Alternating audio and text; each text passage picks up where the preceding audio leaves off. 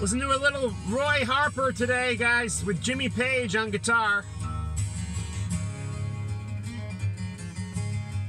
Jimmy's always got such a unique sound, even on the acoustic, you know it's him. Anyways, yeah, a little little different vibe uh, for today. To- Tony Franklin, the bassist, recommended I get this uh, record to hear Roy Harper and Jimmy Page works work together, and it's quite good. Definitely, um, I don't know, not not not for everybody though. Uh, Check it out online before you buy it. Um, drinking a Snapple today.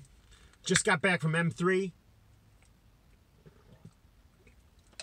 and uh, man, it was great. It was great. So let me tell you, my um, I'm going to mention two performances because there were dozens of performances, um, but two that really stuck out to me were Quiet Riot.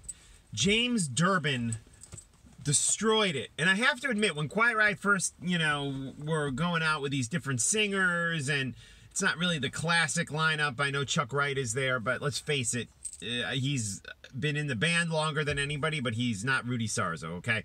Um, so, uh, yeah, I was a little like, eh, they shouldn't be doing this without Kevin. You know, I, I had mixed feelings but I started feeling a little better about it after I watched that documentary a few years back. Uh, now we're here and there's no way back. Now I'm here, whatever it was called. Um, I think now you're here and there's no way back was the documentary that Frankie's wife did on uh, on Frankie basically and Quiet Riot.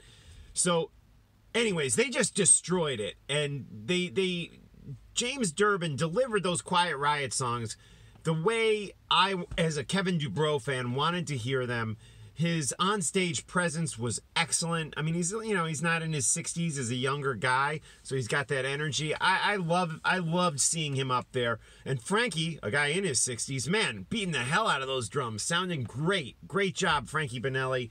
Uh, great job. One of the highlights of the M3 Festival 2019 Quiet Riot set. Another highlight, Kingdom Come man, uh, different singer. This guy Keith, who seems like a, a nice guy. I felt like he was kind of clingy around my wife all weekend, but um, maybe that was just me imagining it.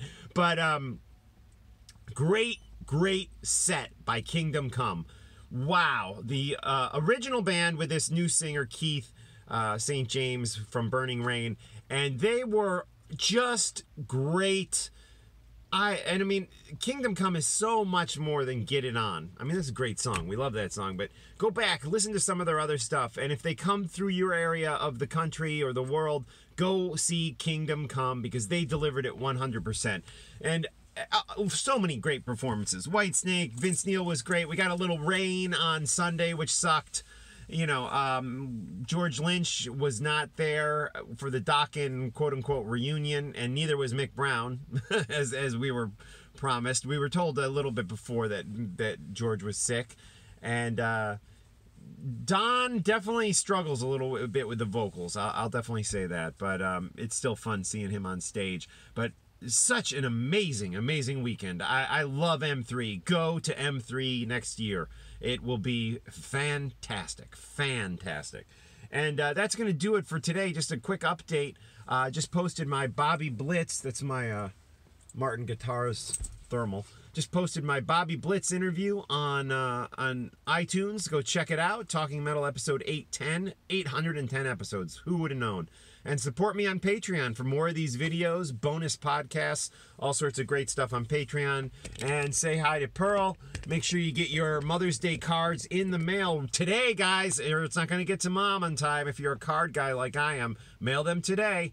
I just mailed mine on the way here. So cool. We'll talk to you soon, guys.